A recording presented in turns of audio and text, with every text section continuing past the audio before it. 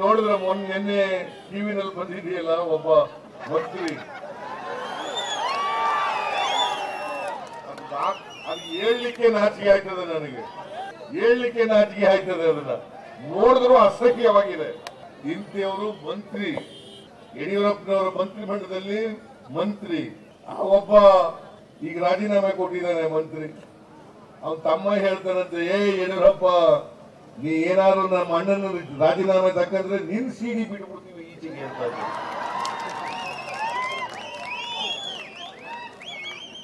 ನಿನ್ ಸಿಡಿ ಬಿಟ್ಬಿಡ್ತೀವಿ ಈಚೆಗೆ. ಇಂಥ ಮಾನಗೆಟ್ಟವರು ಅಧಿಕಾರದಲ್ಲಿ ಇರ್ಬೇಕೇನ್ರಪ್ಪ? ಪ್ರಜಾಪ್ರಭುತ್ವ ಇದೆಯಾ ಈಗ?